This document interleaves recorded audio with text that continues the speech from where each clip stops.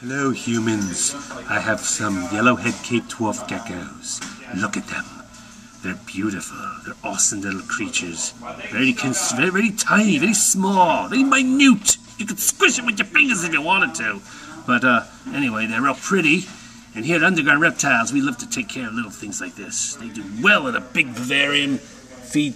You can give them gecko baby food, crested gecko diet, tiny crickets. They'll eat anything. Tiny little bugs, they're doing fantastic. And you gotta miss them a little bit because they love to be misted. They like the little moisture dripping up the leaves onto their lovely little tongues and they can drink it right up.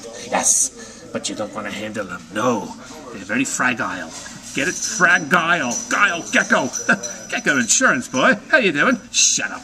Anyway, so if you guys looking for something really cool, nice little arboreal to put in a little terrarium with some other small little critters, this is the one for you. Cape Dwarf Gecko. It's the yellowhead. It's not the williamsi. Don't confuse it. So, you guys looking for something cool? Here it is. Underground Reptiles. Bye.